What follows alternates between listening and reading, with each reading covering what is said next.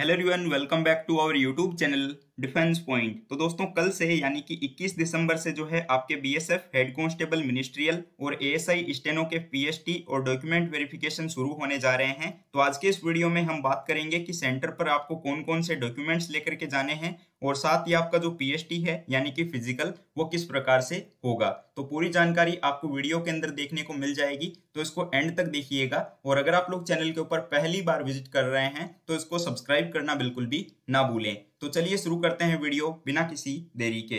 तो दोस्तों, अगर सबसे पहले बात की जाए आपके डॉक्यूमेंट्स को लेकर तो याद रखेंगे कि आपके पास में सारे के सारे डॉक्यूमेंट्स जो है, वो ओरिजिनल होने चाहिए और उसके साथ ही जो है, आपके पास में यहाँ पर सेल्फ अटेस्टेड फ़ोटो कॉपीज भी होनी चाहिए। तो चलिए एक एक करके बात करते हैं कि कौन कौन से डॉक्यूमेंट्स आप लोग लेकर के जाएँगे। तो इसमें सबसे पहले आपका आता है एडमिट कार्ड तो दोस्तों एडमिट कार्ड की जो है लगभग दो से तीन कॉपीज आप लोगों को यहाँ पर लेकर के जानी होगी और बेहतर होगा कि आप लोग जो है इसकी कलर प्रिंट आउट लेकर के जाएँ।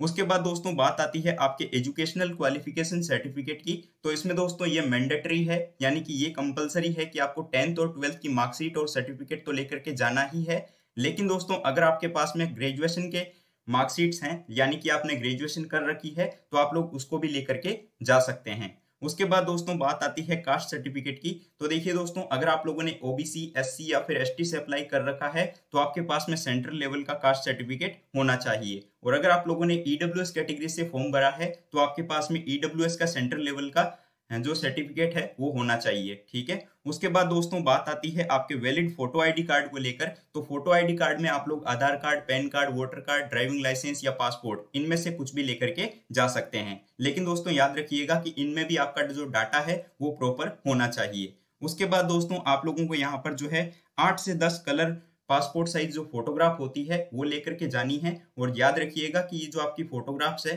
ये दो से तीन महीने से ज़्यादा पुरानी ना हो, ठीक है? उसके बाद दोस्तों, एक इंपॉर्टेंट पॉइंट ये भी है कि आपको सारे के सारे डॉक्यूमेंट्स की फ़ोटो भी कैरी करनी है और ये जो फ़ोटो कॉपीज है, ये आपकी सेल्फ अटेस्टेड की हुई होनी चाहिए, ठीक है? इसके अलावा काफ़ी लोगों ने पूछा है कि क्या सर डोमोसाइल सर्टिफिकेट लेकर के जाना है? तो दोस्तों, ये एक सेंट्रल लेवल की भर्ती है तो इसमें अगर आपके पास में डोमोसाइल सर्टिफिकेट नहीं है तो भी चलेगा, ठीक है? अगर आपके पास में है तो आप लोग ले जा सकते हैं, और नहीं भी है तो कोई दिक्कत नहीं होने वाली है। तो इन डॉक्यूमेंट्स के बारे में आप लोग विशेष तौर पर ध्यान रखेंगे इसका स्क्रीन भी आप लोग यहाँ पर ले सकते हैं। इससे पहले कि हम वीडियो में आगे बढ़े, मैं आप लोगों को बताना चाहूँगा अन अकेडमी के बारे में। दोस्तों अन अकेडमी के द्वारा जो है एनडीए एग्ज़ाम की प्रिपरेशन के लिए एक नया बैच लॉन्च किया जा रहा है, जो कि आपका होने वाला है उमंग एनडीए ज़ीरो एक दो हज़ार तेईस बैच और दोस्तों, ये जो है आपका एक कंप्लीट फाउंडेशन बैच कोर्स होने वाला है, जो कि दोस्तों आपका 26 दिसंबर से लाइव हो जाएगा। इसमें आपको जो है डिफेंस के टॉप एजुकेटर्स के द्वारा पढ़ाया जाएगा, जिनको आप लोग अभी स्क्रीन के ऊपर देख सकते हैं।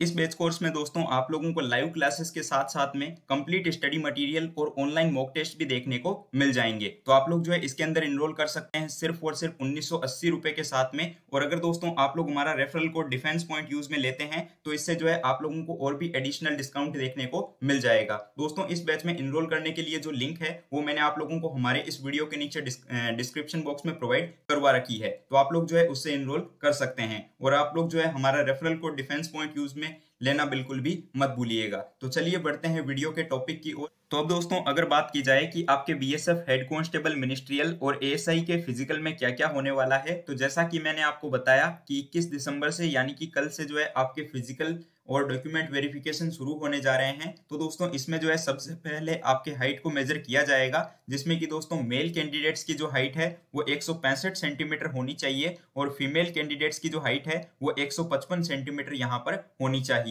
और दोस्तों, अगर आप लोग गोरखा, डोगरा या फिर जो है एसटी कैटेगरी से बिलोंग करते हैं तो उस केस में जो है मेल कैंडिडेट्स की जो हाइट है, वो एक सेंटीमीटर होनी चाहिए और फीमेल कैंडिडेट्स की जो हाइट है, वो 150 सेंटीमीटर यहाँ पर होनी चाहिए। दोस्तों हाइट मेज़रमेंट हो जाने के बाद में आपके यहाँ पर चेस्ट को मेजर किया जाएगा और चेस्ट मेज़रमेंट जो है, वो सिर्फ़ मेल कैंडिडेट्स के लिए एप्लीकेबल है फीमेल कैंडिडेट्स के लिए ये एप्लीकेबल नहीं है। और अगर आप लोग जनरल ओबीसी एससी या फिर ईडब्ल्यू कैटेगरी से आते हैं तो आपकी चेस्ट जो है, वो 77 सेंटीमीटर होनी चाहिए।